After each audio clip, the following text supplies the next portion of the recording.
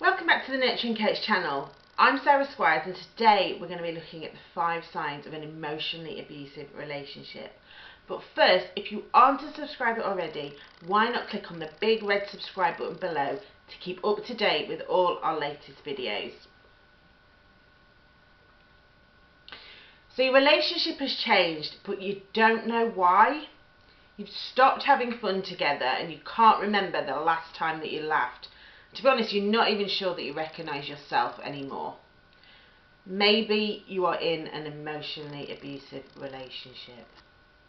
So some of the signs are the first is that you may be experiencing physical symptoms of anxiety, depression, chronic pain, post-traumatic stress disorder, or you may even be using substances such as alcohol and drugs just to get through and this is because you may be suffering with toxic stress and this can be really damaging on your whole body and needs to be dealt with as soon as possible.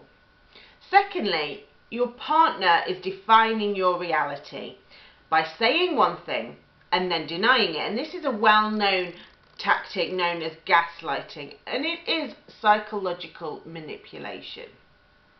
The third sign is that you're extremely jealous. They are extremely jealous, sorry. And they want to know where you are and who you're with constantly. They don't trust you to just go to the shops and make constant accusations. Some of them are subtly and some are just outright. And this is designed to isolate you from and to stop and to give them control of you. Fourthly, they surprise you with changes to the plans that you've already made and they'll do this under the guise of it being special or better. And really, this is just coercive and covert control. Fifth and finally, you feel sorry for them even though they're hurting you. You could blame it on stress, money, work, anything you can think of. But the reality is that you care more about them than you do about yourselves. So you may have been experiencing this for years and you may be ready to know what this means. Maybe you're terrified of not of knowing and this video has put the bejesus into you. The truth is you can't unknow what you know.